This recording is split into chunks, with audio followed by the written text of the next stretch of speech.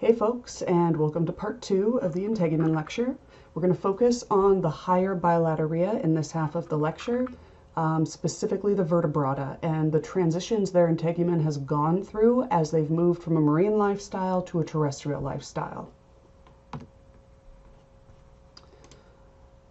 All right, so we're going to start by talking about the commonalities that exist in the integumentary systems among basically all vertebrata.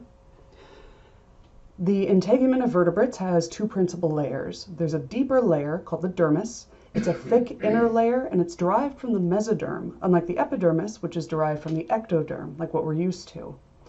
Now, the dermis serves as both an anchor and a growth medium for any structures associated with the integument. For example, skin and feathers, they're both anchored deep in the dermis and then they grow up through the epidermal layer and out onto the surface of the skin. Now, the epidermis is a significantly thinner layer of tissue than the dermis, and you can see that in the diagram. So what's circled in red here, this upper layer, this is the epidermis. And notice it is not nearly as thick as the dermis, which goes all the way down. This is actually as low as I can draw with my tablet. you can see the dermis is about five times as thick, and it's home to a whole slew of different structures. The um, blue and red lines here are veins and arteries, so blood supply is in the dermis. It's the vascular layer of the skin. You can see the roots of hairs. You can see also glandular tissue is here. So this tube is probably a sebaceous gland, meaning it allows oil to leave the glandular tissue down low. It exits through this tube and then spreads across the surface of the skin. Okay. So the dermis houses all of these complex structures, while the epidermis provides protection for the body. Now we're going to start by talking about the dermis. It's made up of this meshwork of fibers. Many of them you saw before when we've talked briefly about uh, connective tissue.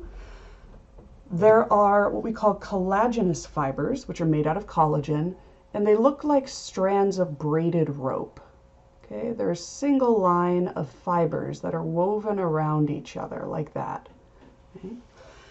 They're made of protein and they are not stretchy. This is the structural material that gives the dermis its form, its shape. Now, elastic fibers are shaped very, very differently. Let me see if I can find one on here. Uh, it's very faint, but there's one there. They branch. Okay? They've got a lot of little intersecting pieces, and as their name implies, they're really stretchy. This is what allows your skin to be stretched over your body, and then when that part of your body relaxes again, the skin snaps back into its original shape. Otherwise, every time your skin would stretch, it would tear, which would not be very adaptive. Now, the organization of collagenous and elastic fibers in the skin of an animal is what determines its toughness or its elasticity. More collagen fibers, you're going to have really tough, really rigid skin but it won't be stretchy. A lot of elastic fibers, and you'll have very stretchy skin, but it won't be very strong. It'll be thin and soft and easy to damage. Now, the dermis has two layers that we're going to worry about. That's it. There's the stratum compactum, which is the bottommost layer, and it provides cushioning. It absorbs any kind of shock that the body might be exposed to. So any impacts on the skin, that pressure is absorbed by the stratum compactum. Stratum means layer or strata, like the earth has different strata, different layers. Compactum means compact. Now look at this area down here. Each of these lines that are stacked on top of each other, it's a layer of tissue.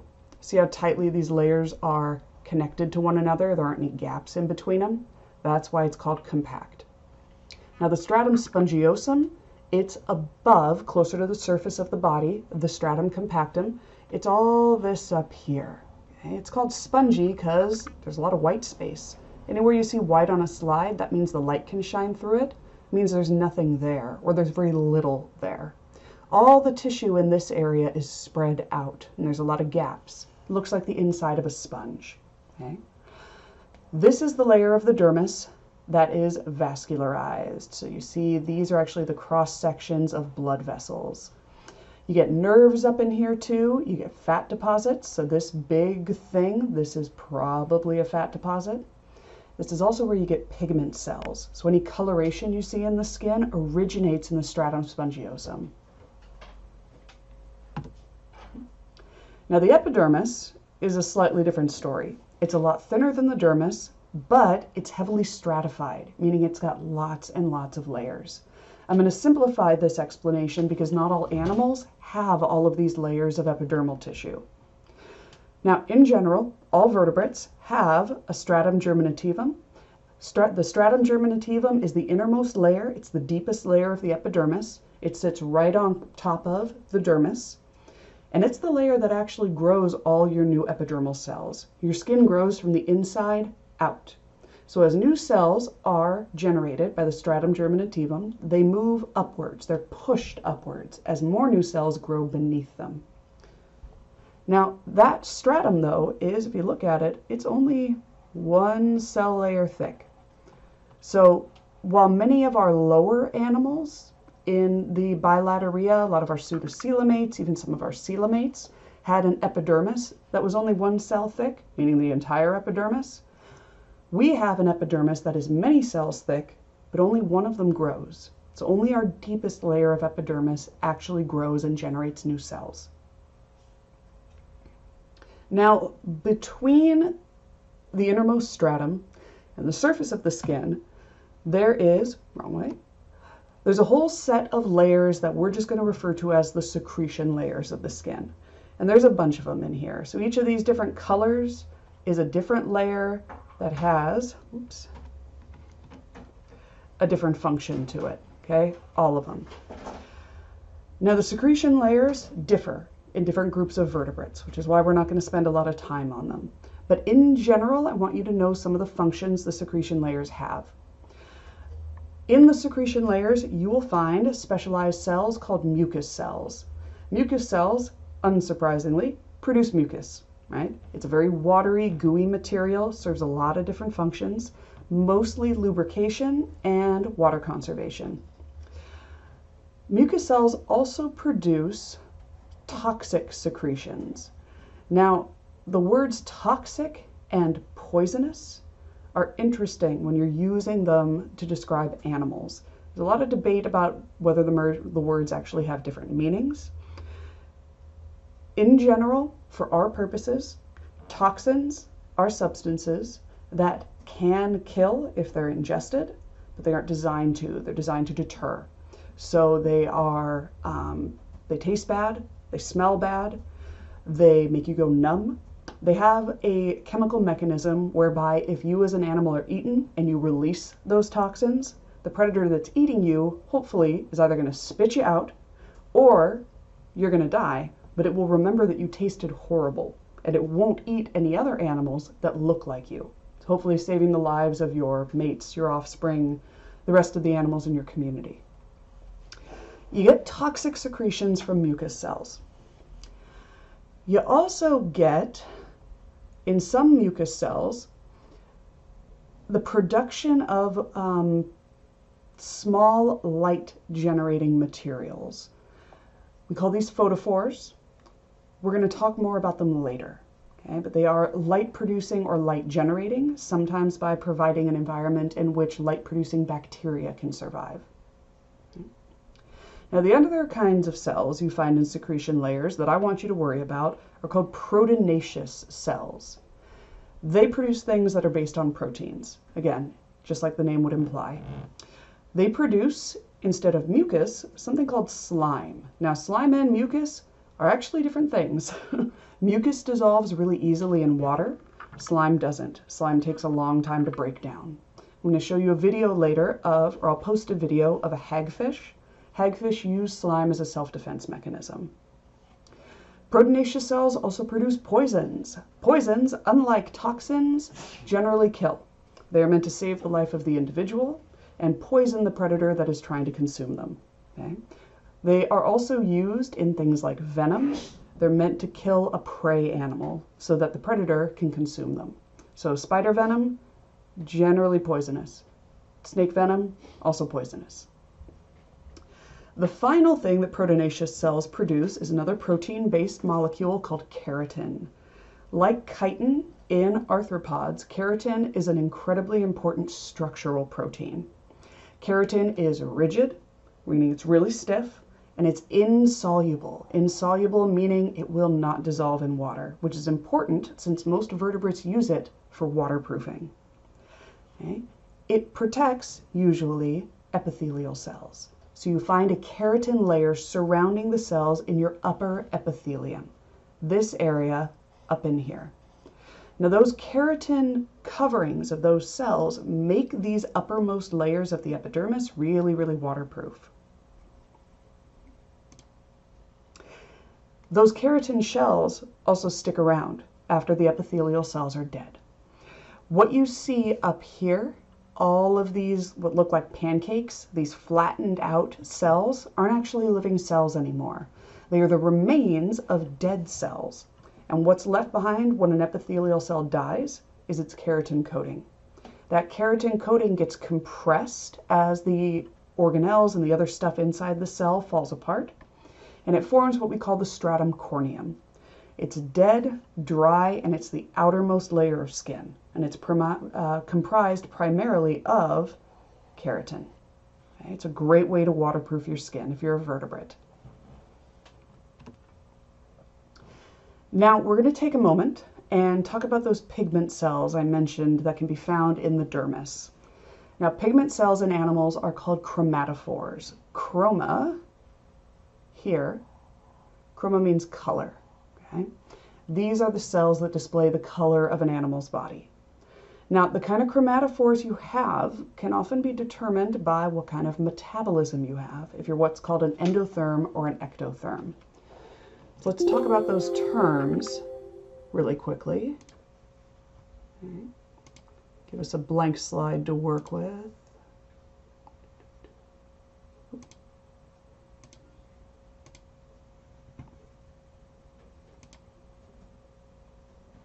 All right.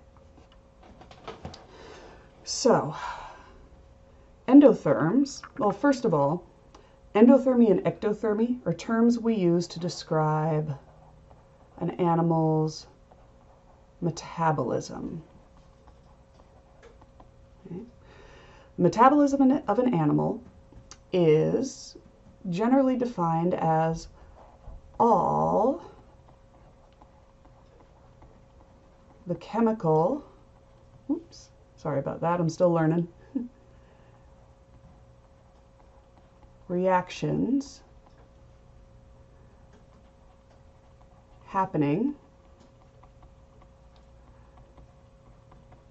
in the body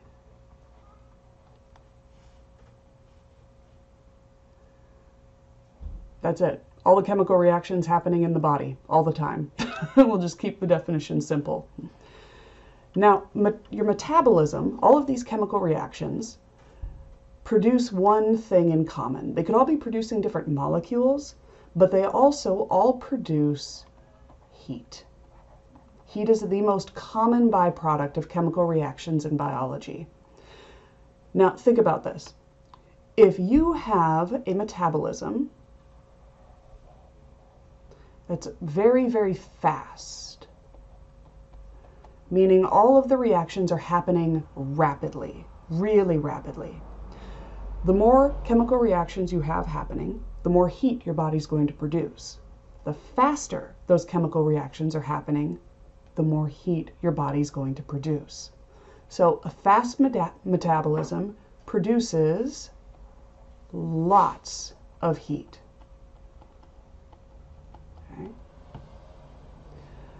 What if you don't have a fast metabolism? What if your metabolism is slow? So those chemical reactions are happening. They're just not happening very fast. You're still going to produce heat. You're still going to produce probably a predictable amount of heat, but it's going to be a lot less than if your metabolism was happening quickly. A slow metabolism produces just a little bit of heat. Okay. All right. All right, so let's follow this through to its conclusion, what we really care about here. If you have a fast metabolism, chemical reactions are happening rapidly, you're producing lots of heat, that's going to affect your overall body temperature. Lots of heat means you are going to have a high body temperature.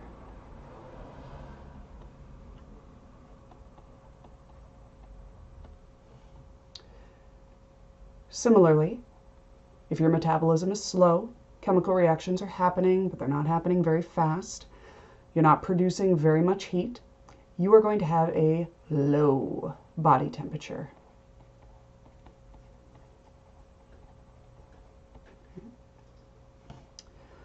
So how does this connect to those two terms I mentioned before? Well, endotherms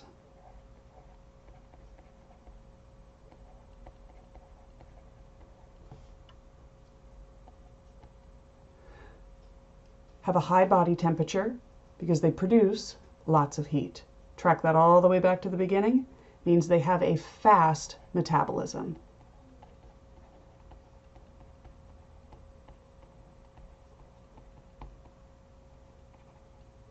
Okay. So they have a high body temperature.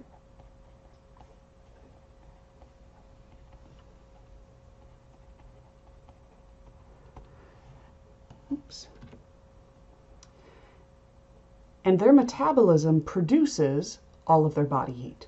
So they're generating their body temperature just through their own metabolism. Now, ectotherms are different.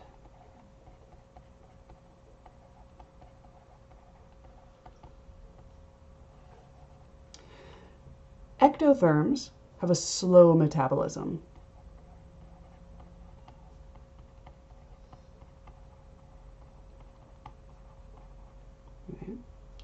Which means they have a low body temperature most of the time. However, that can be detrimental. Your muscles run on chemical reactions. The speed at which your muscles can operate depend on how fast those chemical reactions are happening. So let's say you're an ectotherm like a lizard, and there's a cat coming. That cat is intent on eating you. If you're cold and your body temperature is low, that actually limits how quickly chemical reactions can happen in your body. It's kind of cyclical. If your body's cold, that actually slows down chemical reactions. And slow chemical reactions don't produce very much heat, so your body stays cold. See how it's kind of cyclical? If your muscles can't move very fast, you as a lizard aren't going to be able to run away from that cat. So it's not good to have a low body temperature all the time. It literally slows you down. However, you can get heat elsewhere. You could go, say, lay out in the sun, or lay on a hot rock or a hot road, and absorb heat from your environment. That will elevate your body's temperature, and it'll actually slow up the chemical, or uh, speed up the chemical reactions happening in your body, allowing your muscles to move faster and allowing you to run away from that cat. So ectotherms, even though they don't produce very much of their own body heat, they can absorb it from their environment. So they can absorb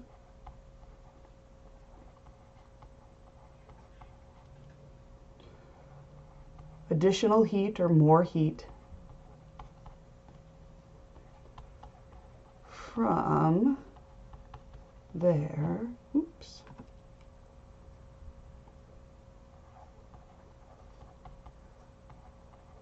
environment. Look, I called it. That totally looks like a kindergartner's handwriting. Sorry, guys. now, what does this have to do with what we're talking about? Well, interestingly, vertebrates you can split up into these two groups, either endotherms or ectotherms. And because mo- because endotherms do form a monophyletic clade. Well, I shouldn't say that. There are two clades of endotherms, and uh, ectothermy is actually the ancestral state for vertebrates. There are some commonalities in each group as to what sort of chromatophores you're going to have. Endotherms have mostly what are called melanocytes. Now, melanocytes are what we have as well. They're located in the stratum germinativum. So these are actually chromatophores, pigment cells that aren't in the dermis. They contain a pigment called melanin. Melanin is brownish, black, or red. It's stored in a special organelle inside of epithelial cells that are called melanosomes. So melanosomes contain melanin, and they're found inside of cells called melanocytes. And they're called melanocytes only in endotherms. The same pigment's going to be found in ectotherms, but it's found in a different cell type.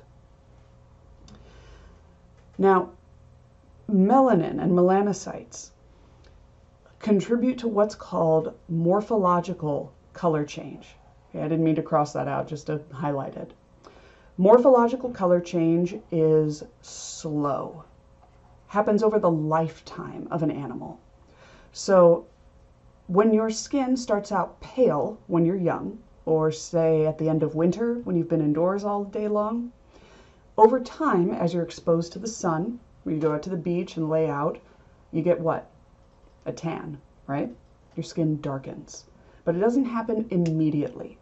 The only color change you see at the end of a long day in the sun is usually the change to the color red because you've burned yourself.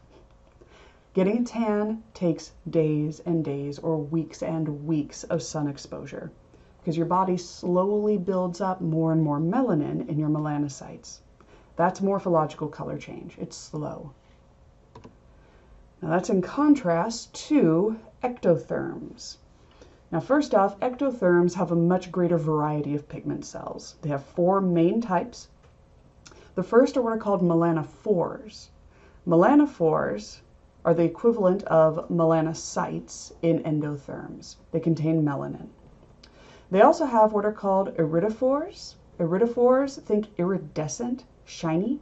These are really big cells that are filled with crystals, crystalline compounds that reflect light, giving them that iridescence, like what you see here in this little squid. Xanthophores contain yellow pigment. Erythrophores contain red pigment. Remember this prefix, erythro? It means red. We're going to see it again when we talk about red blood cells, which are called erythrocytes.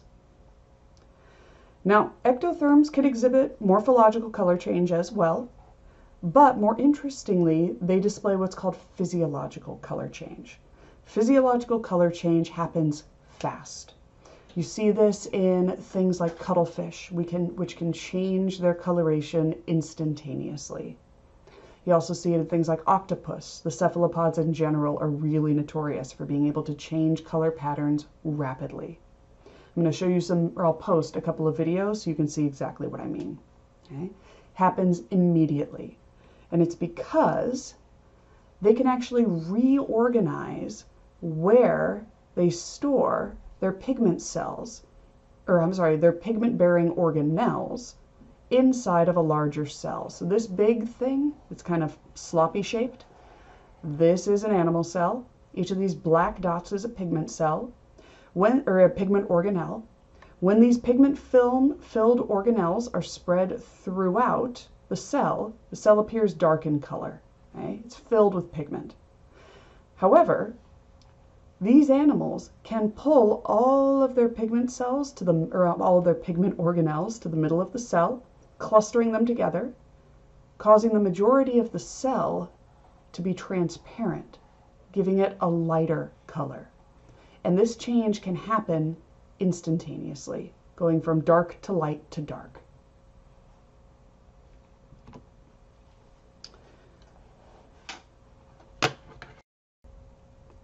For the rest of this lecture, I'm going to go a little bit more quickly because most of the information you need is just on the slides. We're going to start our overview of the integument found in different groups of vertebrates by starting with the oldest, um, in evolutionary terms, the oldest group, which are the fish. First fish group we need to cover are uh, superclass Agnatha, which are the jawless fish. Remember, these this includes um, the true classes, class Myxini and class Cephalaspidomorphi. Hopefully those sound vaguely familiar from the big animal cladogram we did way back at the start of class. These guys exhibit the ancestral state for the integument invertebrates. They have a smooth epidermis, meaning there are no scales, and it's covered by this very thin cuticle. The cuticle is waxy. It's made out of fats it's not made out of keratin. In fact, there are there's no keratin in the skin of this group, which is important. It means keratin evolved later. What they do have, though, are a lot of what are called club glands. Club glands are proteinaceous glands. And the way I know that is they produce this fibrous protein slime. Remember, slime is always protein based. It's always going to come from a proteinaceous gland. And I'll post a video, video for you of just how incredible this slime is. It's produced on the skin as a concentrate, meaning there's a tiny little bit of white goo that's secreted out of the skin. And once it hits the water, because remember these are fish, they're marine, once it hits the water, it magnifies in size by about a thousand times. So a tiny bit suddenly becomes a huge gooey mess. And it's a great defense against predators. The dermis is very fibrous, but also very flexible. What that means is the majority of those fibers are going to be elastic fibers. Our last two classes of fish are the bony fish and the cartilaginous fish, classes Osteichthyes, the bony fish, and Chondrichthyes, the cartilaginous fish. And even though I have them listed this way, remember that their evolutionary order is actually the opposite. Chondrichthyes are older, Osteichthyes are the younger group. These guys have a very thin dermis and a thin epidermis, but they're incredibly glandular, meaning they've got tons of glands that make a lot of different materials. Mucus glands are present in abundance in both groups. That mucus has a lot of different functions. It deters parasites. Nothing really wants to bite the skin of an animal that's covered in mucus. It helps to clean the body. If you pump out a lot of mucus through your skin, it will carry away any dirt that's covering you and it reduces friction, streamlines, you in the water. They also have poison glands. Remember, poison glands are proteinaceous glands. Uh, not all of them have them though. Only certain fish have poison glands. Lionfish are a good example, which is what you see in the picture here. And keratin exists in some groups, but not in many. It's almost always absent. But these are the first groups that seem to have evolved keratin as an integument material. This is the first place where you see hard integumentary materials show up, meaning ones that aren't flexible, they're not soft, and they're also non-living. Enamel, dentinous tissue, and bone are the three that are most common. Enamel is the hardest of those materials. It can't be regrown. It's what covers the surface of your teeth. Dentinous material is some is uh, made of a material called dentine. It's softer than enamel. You only see it in vertebrate teeth, a type of scale called a denticle, true scales like what you see on fish and reptiles, and also any external armor. There are armored fish other than the placoderms, which are extinct. Yeah, you'll see some examples in a later slide.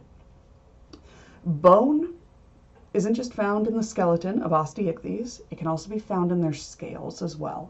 It's actually the weakest of the three materials. All right.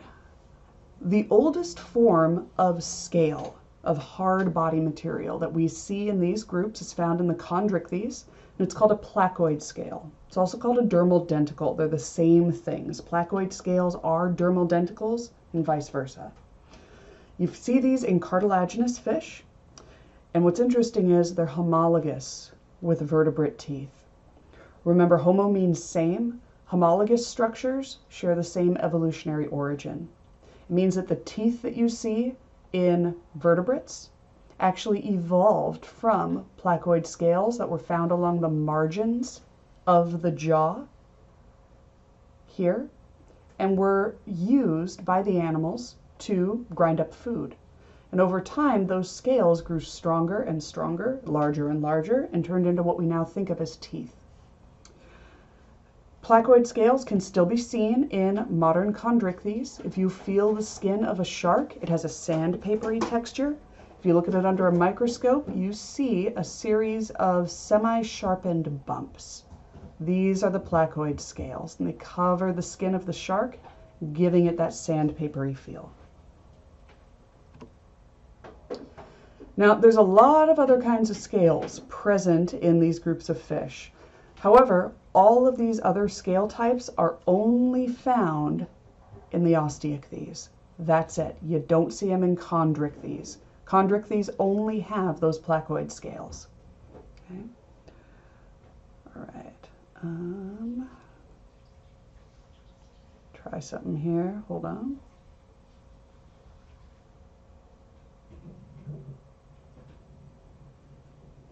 Pink color. Do yellow again. All right. We're going to start with the second oldest group of scales, cosmoid scales. Now, cosmoid scales are likely derived from placoid scales, meaning they evolved from them, but we're not sure. We think this is the case because the surface of the scale is actually covered with little denticles. Denticles are placoid scales, remember? They're the same thing. So when you look at these cosmoid scales, you see they, they have what look like dots all over the surface. Those are the denticles. Now, cosmoid scales have a distinctive shape, and you're going to need to keep track of the shapes of these different scale types. Cosmoid scales are what's called cycloid. Think of a cycle as being something that's round. These are rounded scales, but you don't get to see the whole scale because they overlap each other. Each of these scales as a whole structure is circular. But since they sit on top of each other, you don't see the top half of the circle. That's called being imbricated. Imbricated means overlapping. So where these two scales overlap each other, that's imbrication. Now, they can also be what's called rhomboid in shape. Rhomboids are parallelograms, which means a four-sided shape. That was a crappy one here. Let me try that again. There we go. That's better. These rhomboid scales, they fit edge to edge, meaning they're not imbricated, they're not overlapping. So the next scale here would look like, not like that, like that. And then there'd be another one here, like so. And then you'd get another layer above them covering the body. There you go. You see these kinds of scales in some lobe-finned fish, such as lungfish. A lobe-finned fish, I can draw a little picture of one for you.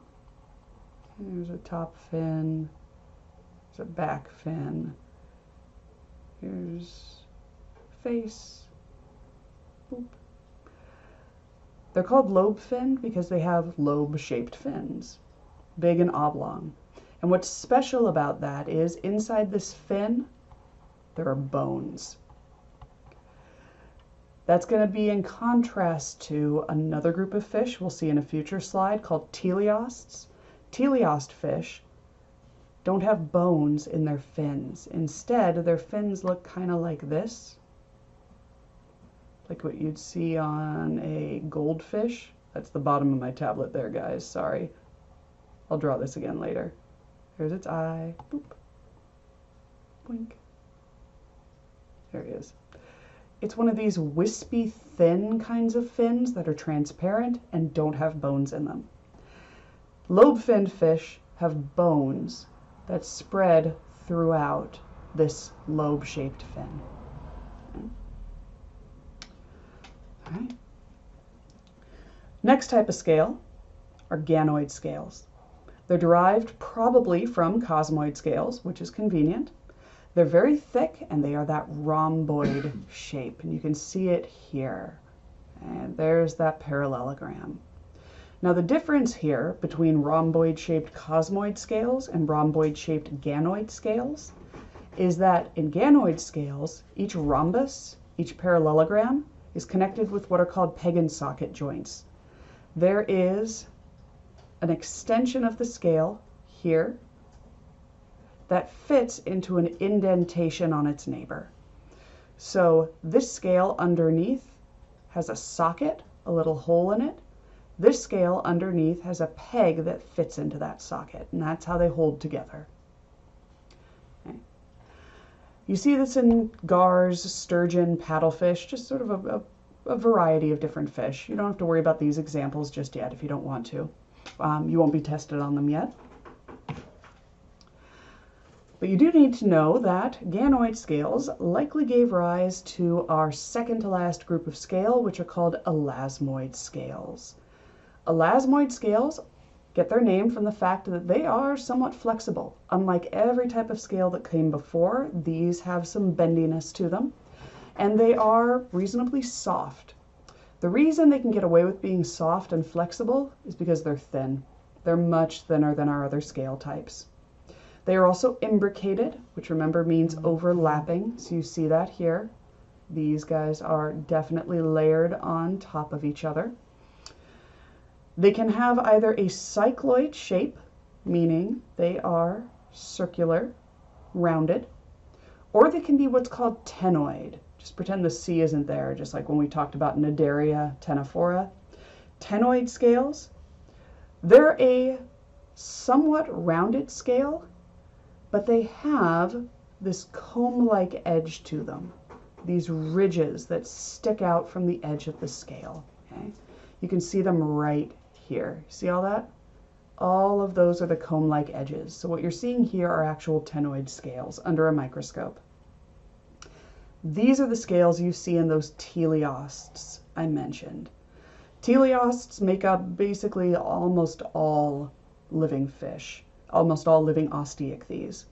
They're like your goldfish, betta fish. They have those really soft, flowing fins. Okay? They're transparent, they're see-through, they're very elegant. Those are teleosts. Many living lungfish also have these kinds of scales, as well as coelacanths, those ancient fish that we thought were extinct and yet showed up about 50 years ago looking virtually unchanged from their fossils. They are a classic example of evolutionary stasis. All right, next up, scutes. Scutes are these large, thick, shield-like scales. They can take several forms. They can be these bony plates. They can be thick and keeled. Keeled meaning they have this shape in cross sections. You see how this goes up and then comes back down. They can be spiny, have points to them. They can also project off the body into spines, like what you see on a lionfish. Now that's it for our fish. Now we can move on to amphibians. Now what I want you to pay attention to here is remember that amphibians were the first of the vertebrates to transition onto land but they didn't make a full transition. And the reason is their eggs still have to be laid in water, otherwise they dry out and die. Reptiles were able to bridge that gap. They're the first group to have that amniotic egg, which has a waterproof shell, meaning the egg can be laid on land without drying out and dying. Amphibians don't have amniotic eggs. They also don't have a lot of the other adaptations reptiles have, which allow them to live on land all the time, which is why most amphibians are tied to wet environments or have to live near a body of water. Amphibians are similar to fish in that they have a thin epidermis. Oftentimes, amphibian epidermis is less than eight cells thick, and only the outermost single layer of cells is the stratum corneum, is actually that waterproof layer of keratin. It's not much protection against drying out. It is also frequently replaced. Remember, epidermal cells are constantly growing, so that outermost cell layer of stratum corneum is constantly being lost, a process called sloughing in amphibians. It peels away and is immediately replaced. Amphibians have a variety of pretty awesome uh, types of glands. They have a special gland called an alveolar gland. Uh, alveolar gland secretions produce mucus, tons and tons of mucus, which is what gives frogs and other amphibians their shiny appearance. That plus the keratin found in that thin stratum corneum is what prevents desiccation or drying out keeps them from um, drying out while exposed to the open air. That mucus from the alveolar glands also helps to clean the skin. Uh, so as mucus is constantly produced, it pushes dirt off of the skin, which is important since these guys perform cutaneous respiration. Part of their oxygen comes from gas exchange right through their skin. They also have granular glands. Granular glands produce toxins, by and large. They're mucus glands. They're distasteful. They can even be dangerous to some animals. And a good example, they are clustered in the warts that you see behind the eyes of toads. If you ever make a toad really angry, a milky substance will come out of these big warts behind their eyes. Don't lick it. You won't get high. You'll just get sick. Just trust me. What you're going to see next in the integument of reptiles are adaptations that allow the animals to live fully in the open air and be very, very resistant to drying out. Their epidermis is completely composed of horny scales that are fused to each other. So there are no gaps between these scales. This is a single continuous layer of incredibly thick keratin. Joints, like at the arms here, or in their digits, their toes. Joints where the body has to bend is where you find areas of thinness in the skin. Otherwise, it would be like the animal was wearing a suit of armor where all the pieces were fused together. You wouldn't be able to bend any of your limbs. The material of their skin has to be thinner at the joints so that it can deform and bend. Their skin has a ton of keratin and lipids, remember, which are fats, which waterproof the skin, traps water inside, which is where you want to keep it. They don't have any mucus glands because they don't need to keep their skin moist. It's designed to be dry. They do, though, have scent glands. Scent glands are used for marking territory. Mm-hmm. For example, you find them under the jaws of crocodiles. You'll see crocs in the wild rubbing their chins on fallen logs or rocks in their territory, and they're literally scent marking that territory, just like dogs do.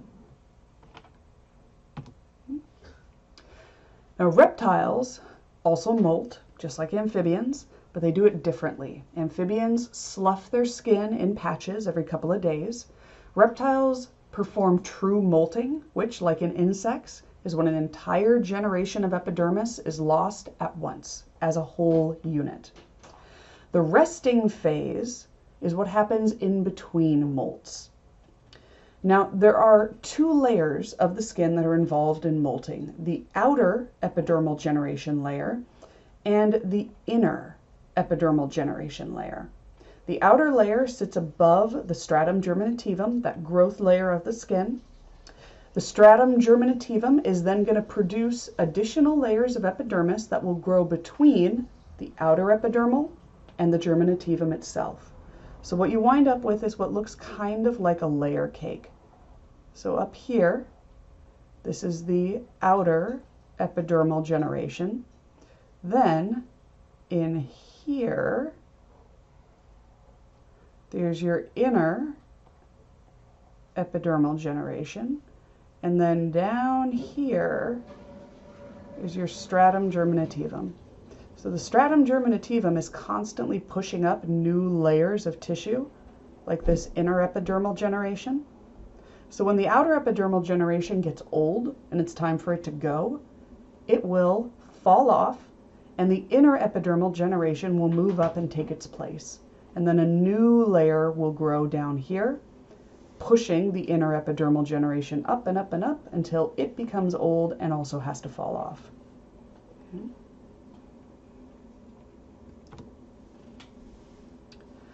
All right, a couple of interesting things about integument in this group. You have scutes, just like you did in fish. The scutes of crocodilians often form spines along their backs. And the scutes of chelonians, which is the name of the clade that contains both turtles and tortoises, are the plates that make up their shells. In both cases, the scutes are made of thick keratin that builds up over time and doesn't actually fall away from the body. So as these animals molt, each molt leaves behind a layer of keratin. So if you were to look at one of these scutes from the side, you see all these little individual lines? Each of these represents a layer of keratin that was laid down by a molting event. So from the side, the scute looks like this. And each of these lines is a layer of keratin that was created when the rest of the animal's skin molted. Okay? New layers are added from the bottom, forcing the structure to grow upwards.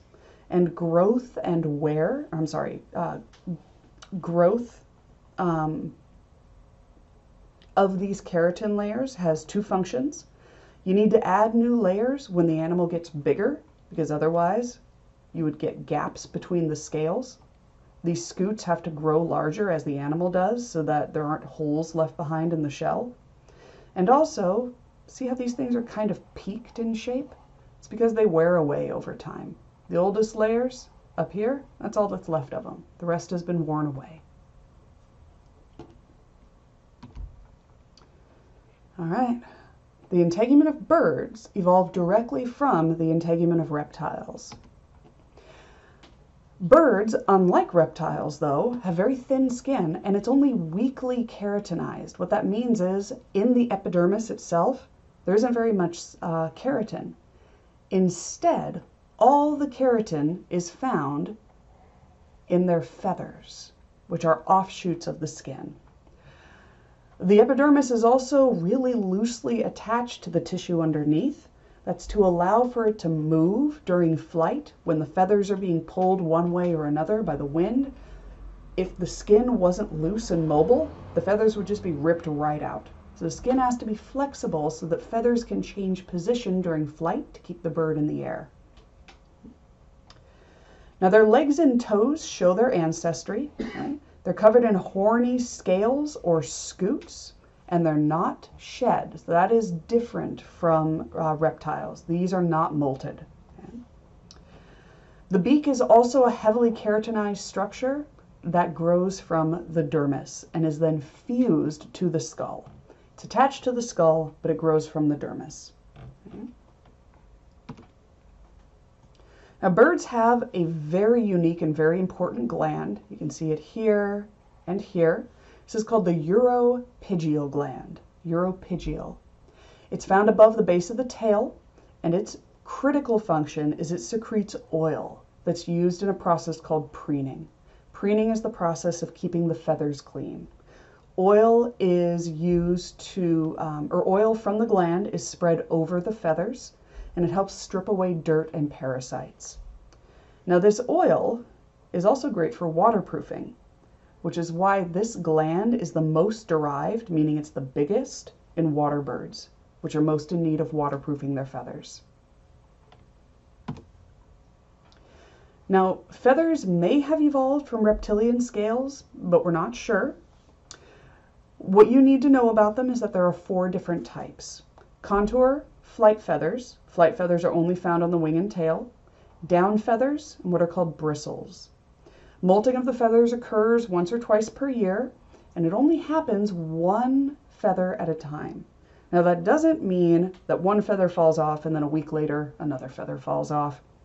What it means is that the bird doesn't molt all of its feathers in one day. You won't see a chicken walking along and then suddenly poof, all of its feathers fly off and it's left naked. That would not be, again, very adaptive. The bird would probably die. Birds have to ensure that their body remains covered with feathers. So they'll only molt a few of them at a time. And they'll only molt them once new feathers are already in place and ready to take the position of the old feathers. Now, contour feathers are what cover the external body they provide streamlining during flight, they also display color, and they provide protection from the environment. Flight feathers are significantly bigger and stiffer. They're used to control flight. You only find them in the wings and the tail. Contour and flight feathers have a very distinctive structure that's important to understand. They, they anchor to the body down here uh, I can't draw down to it, I apologize. Down there, here I'll use the mouse. Here we go. All right. This is called the calamus. It's also called a quill. It's the hollow portion of the feather that embeds in the skin. It's also where all the blood vessels are. This is the growth point of the feather. We call this the proximal end of the feather. Proximal means close to the body. So anything close to the body is referred to as proximal. The opposite side of the feather we call the distal end because it's distant, distant from the body. It's solid and narrow. This section is called the rachis, the rachis. Connected to the rachis is what you would think of probably as the feathery part of the feather. That's called the vane. So this whole blue area, all of this is referred to as the vane. The vane is made up of smaller structures, these guys, which are called barbs. Barbs in turn are made up of smaller structures here, okay, which are called barbules. And barbules are covered in tiny little hooks that are called hooklets. Hooklets are what hold adjacent barbs to each other. So the hooklets on these barbules here, okay, these barbules are these, they would grab onto the hooklets on these barbules, anchoring the two barbs to each other. Down feathers are very different in structure and in function from contour or flight feathers. They have almost no shaft. Now, shaft is another word for rachis.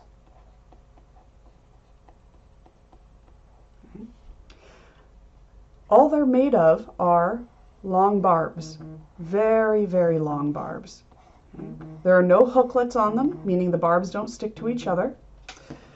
The function of down feathers is to insulate the body and conserve body heat. So, warm air is trapped between these long barbs and held close to the body. You only really find down feathers underneath larger feathers, lining the skin, keeping the animal warm.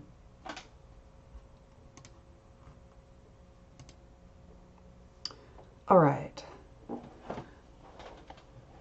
Bristles are the other interesting kind of feather you need to know about.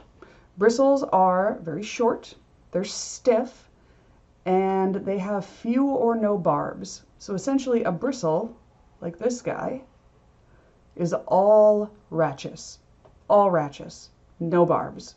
Down feathers, on the other hand, are all barbs and no rachis. Bristles are really interesting. They have the same function in some cases as eyelashes, so they screen dirt from the eyes to keep the bird's eyes clear, or nose hairs, so they keep dirt from um, flying up their nostrils. And interestingly, too, they can be used to increase the width of the beak.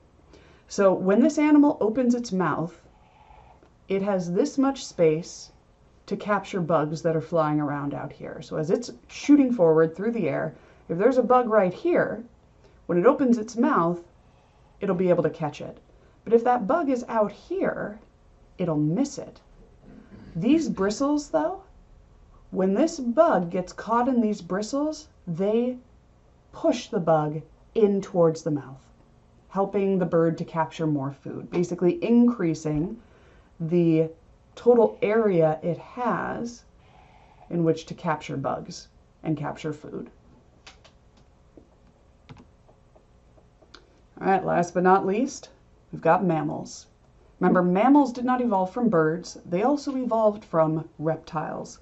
So what you're going to see is a slightly different take on how you can take the reptile or uh, the integument of a reptile and tweak it to have a slightly different function. Now, mammals, one distinctive thing about their integument is they have a very thick dermis, that deeper layer of integumentary tissue. It's actually the source of leather. So your leather bags or wallets, that's made of dermis. Now the epidermis is very reactive to um, abuse, basically. The epidermis will thicken in bare areas, meaning areas that aren't covered by fur, and any ones and any areas that are exposed to pressure or abrasion. So think the foot pads of an animal or their hooves.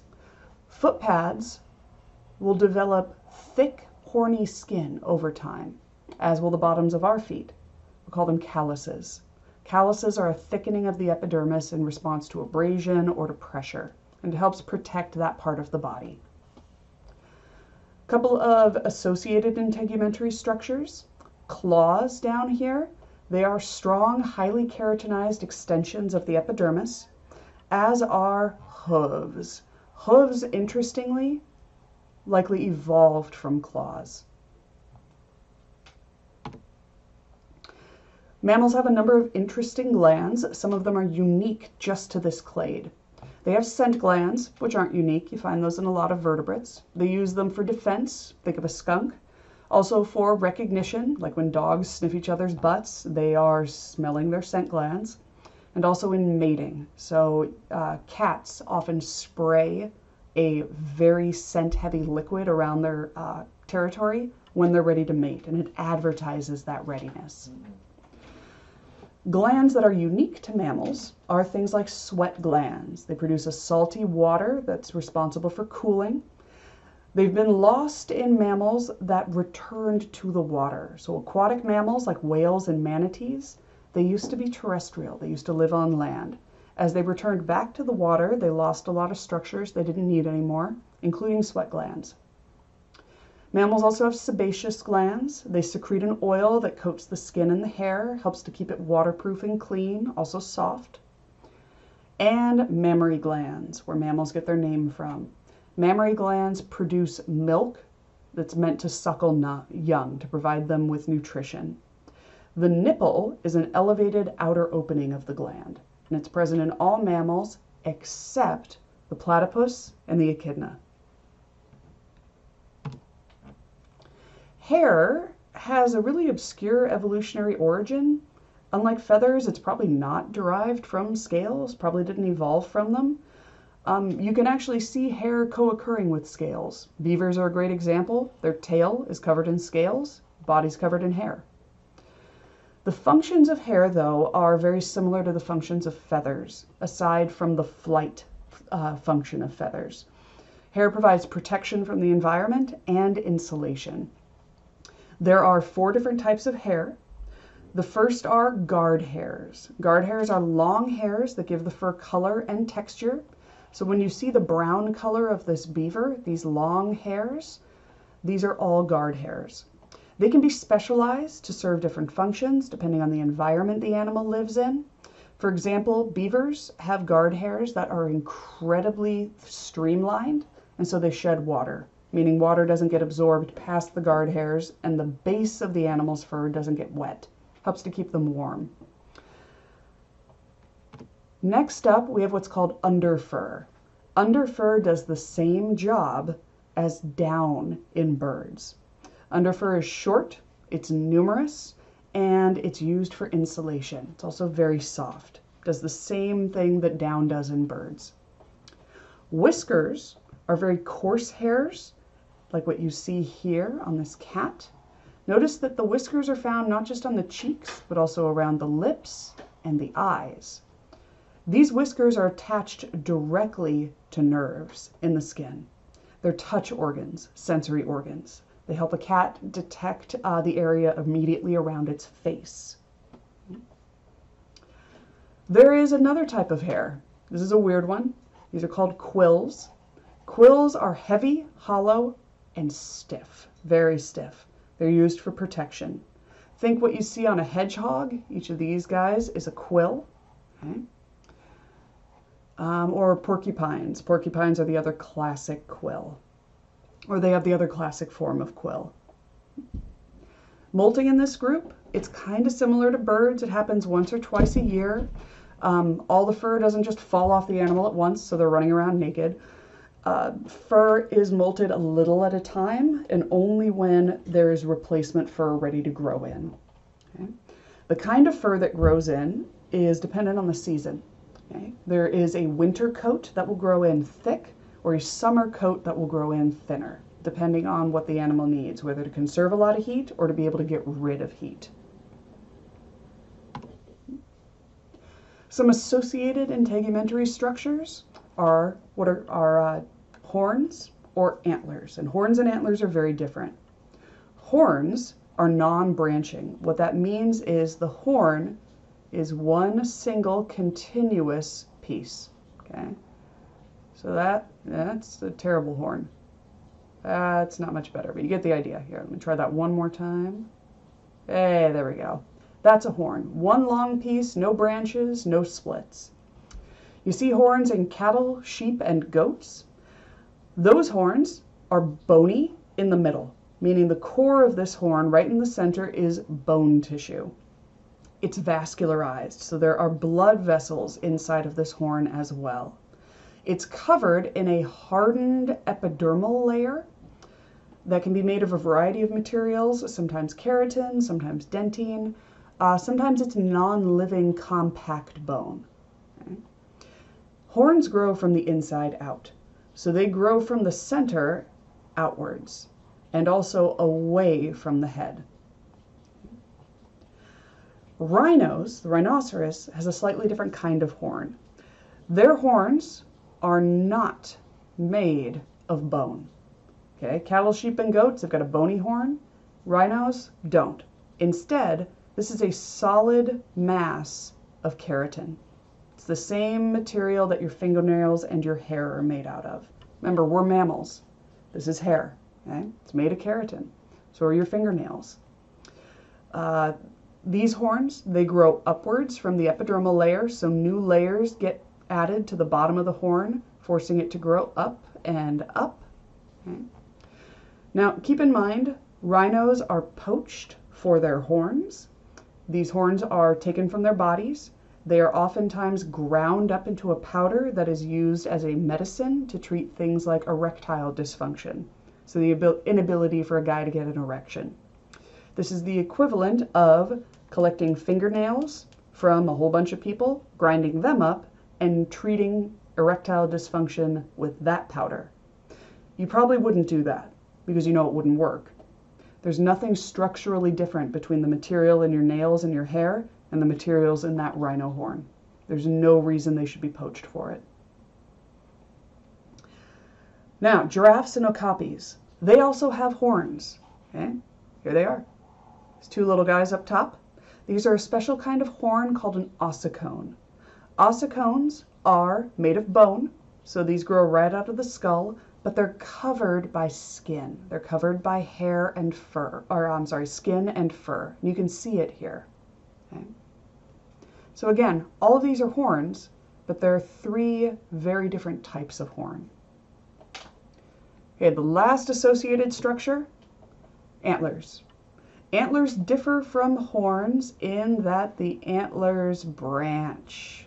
Okay, so think of like deer's antlers or um, antelope antlers or these moose. If they've got these branching shapes to them, they're an antler and not a horn. Antlers are actually bony extensions that grow from the dermis and they grow in each year and are then shed at the end of each year. And the reason is antlers are used during mating. Males fight with each other using their antlers. Whoever has the nicest set of antlers tends to win the most fights and mate with the most females. Antlers, though, are a crap weapon. They're a terrible weapon for self-defense. They're ungainly. You can't actually look when you're using them, so you're just sort of charging blindly at something. And if you're trying to run away from a predator, like a wolf, through the forest, it's not great to have a chandelier on your head. It's going to catch on branches and trunks of trees and it's going to slow you down. So once males don't need those antlers anymore because mating season is over, they drop them. They fall right off. And then they just grow back the next year. During the growth period, when the antlers are developing, they're actually covered by skin as they grow from the head. We call that living skin velvet because it's covered in this very short, fine fur that's really, really soft. It feels like velvet. Once the antlers are full sized, so growth is over, circulation to the velvet is cut off by the body, and the velvet is sloughed, meaning it's shed, it falls right off. Okay? This is an example of velvet that is being molted from this now mature antler. Now this velvet is made of blood vessels, there's fat in there, there's dermis and epidermis, there's a lot of good materials that are valuable. It took a lot of energy to grow those antlers and it took a lot of energy, calories and materials to grow this velvet. So in order to try to salvage some of that energy, animals will often eat the velvet. Try to salvage some of the energy that they invested in growing these antlers and uh, save those calories. It's a little gross. The antler then again is shed at the end of the breeding season. All right, that's it for part two of integument. Let me know if you have any questions.